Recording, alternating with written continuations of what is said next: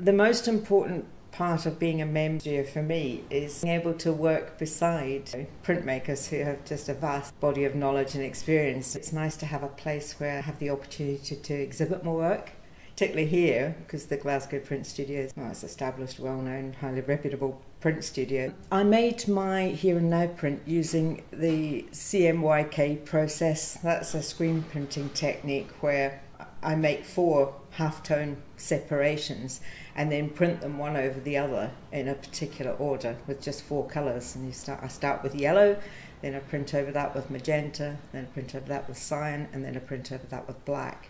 And that's the final print then. And what you get is a look that's kind of like an old newspaper photograph. My new print's called Hold Me. If you look at the image, in Hold Me, a woman stands in a field of wheat under quite cloudy, ominous skies, and she's holding quite protectively the earth.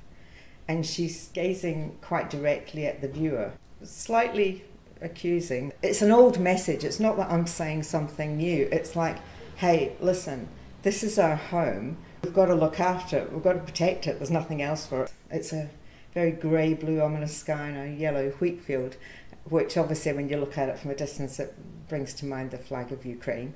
That's another thing that's in my head. We see it on the TV screens every night. And in a way, that conflict there is bringing to the attention of a really wide audience in their living rooms every night these big issues, like you know the consequences of globalization and of our dependency on food from one part of the world or energy from one part of the world.